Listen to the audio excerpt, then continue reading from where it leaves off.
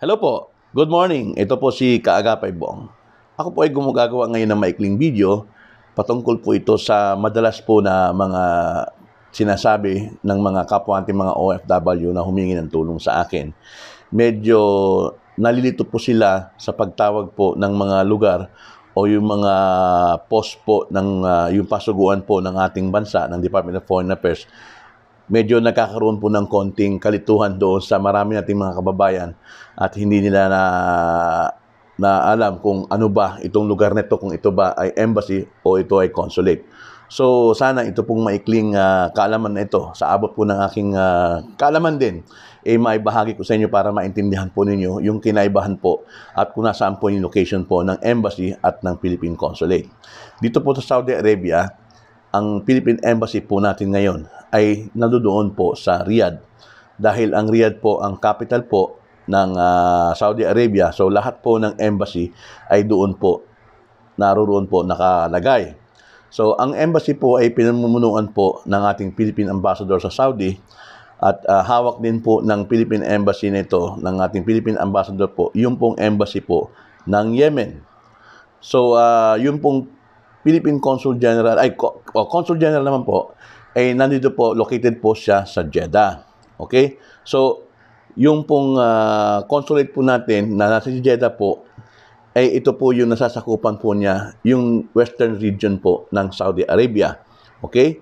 Yung pong ah, katulad po ng Taif, katulad po ng Makkah, ng Tabuk, ng Najran, ng As- Asia region, ng uh, Jisan, ng ah, Makkah. So yan po yung mga area Madina, yan po yung mga area ng Western region, basta Western region pinag-uusapan, including Tabuk, eh nasasakupan po yan ng Philippine Consulate General natin sa Jeddah, kung saan po ang namumuno po ay ang ating Consul General. Okay. Ang Consul General po natin ngayong mga panahon na ito ay ang ating Consul General Edgar Batajos na siya pong ama ng mga Pilipino na mga kababayan natin dito po sa Western Region. Samantalang ang Philippine Embassy po sa Riyadh, okay, na pinamumunuan ngayon ng ating Philippine Ambassador to uh, Saudi Arabia na si Ambassador Adnan Alonto ay nadoon po sa Philippine Embassy at ang sakop po ng Philippine Embassy po natin ay ang mga lugar po ng nasa Riyadh na kalapit nito katulad po ng Kasim, Hail at yung iba pang kalapit na probinsya niya.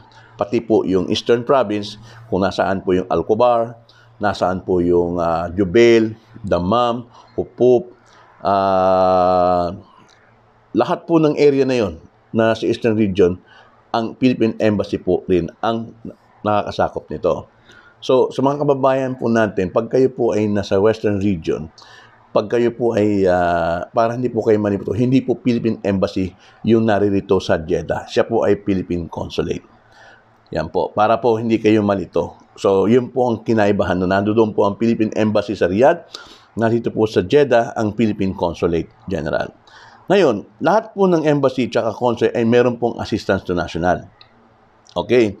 Yan po, yun po yung isang sangay po ng Philippine Embassy at ng consulate kung saan ang, Philip, ang assistance to national, sila po yung ahensya po na nasa loob po ng, ah, ng consulate at ng embassy na nangangasiwa po sa mga problema po ng mga kababayan natin na walang kinalaman sa labor problem.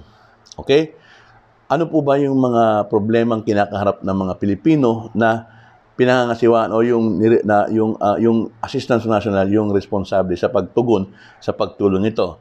Ayon po sa aking kalaman, ang mga ang mga problema po na hinahandle po ng Assistance National both ng Philippine Embassy at ng Philippine Consulate ay ito po yung mga may kinalamang kasong kriminal katulad po na nakapatay, yung namatay, na aksidente, yung meron pong kaso ng mga estafa, yung nakipag-away, lahat po na may criminal na aspeto, maging sa mga namatay, ang Assistance National po ng Philippine Consulate at Philippine Embassy ang siyang nag-handle nito. Hindi po nila hinahandle ang mga labor cases. Unless na lang kung may labor cases tapos biglang nagkaroon ng criminal case. Katulad halimbawa si Kabayan ay naakusahan ng pagnanakaw or na rape o na ano or na basta mga criminal case po ang Assistance National po ang siyang mag-handle ng mga kaso nito.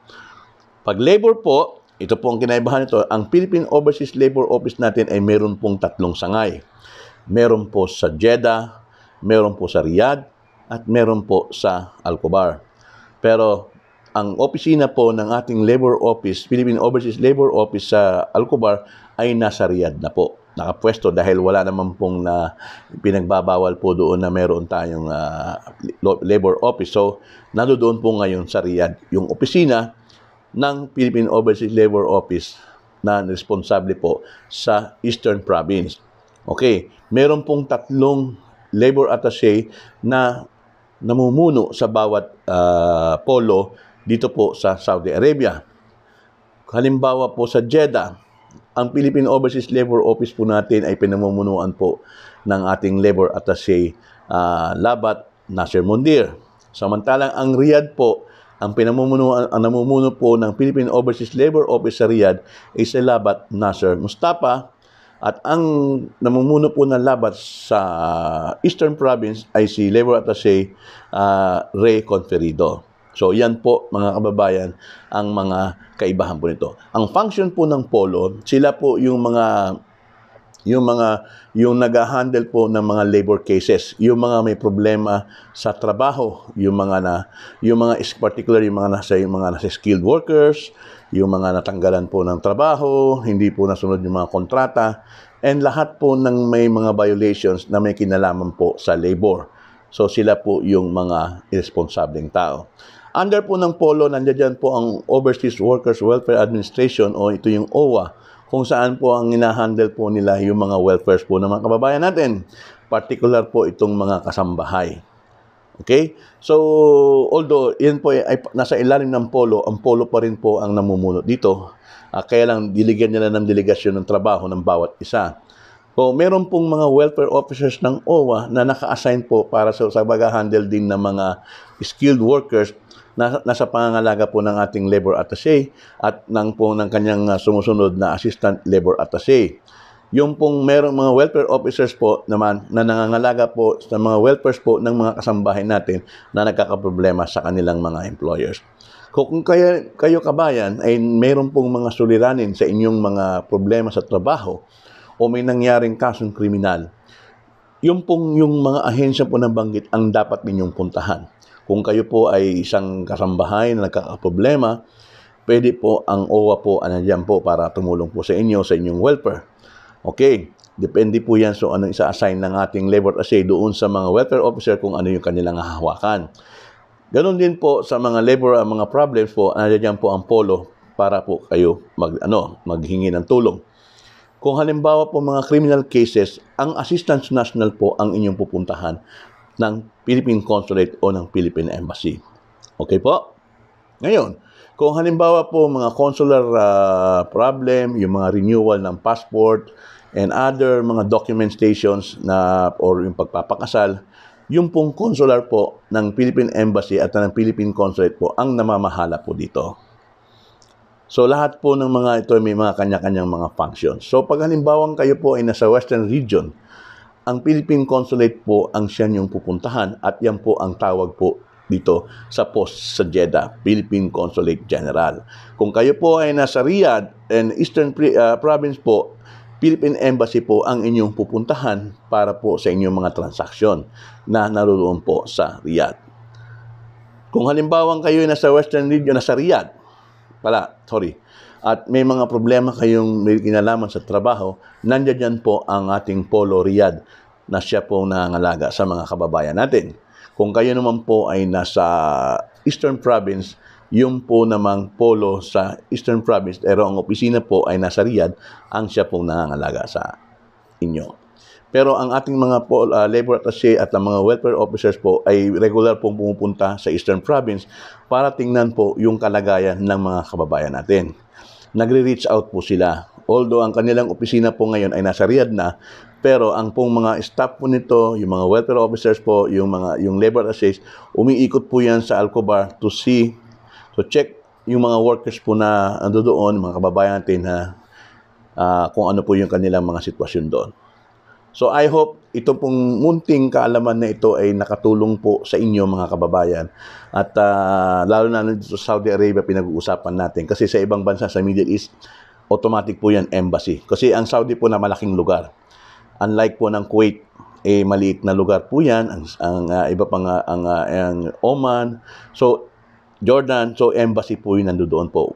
So, pero dito sa Saudi Arabia, dahil malaking bansa po ito, so meron pong ah, Philippine Consulate na nilagay para siya pong mga laga doon po sa mga nasa Western region. So, muli, ito po si Kaagapay Bong. Pasensyahan nyo na po yung konting kalaman na aking binahagi sa inyo. And I hope makatulong po ito sa inyo para po ma-identify nyo kung nasaan kayo at kung ano yung mga lugar at ano yung mga ahensya na dapat nyong puntahan. Maraming salamat po.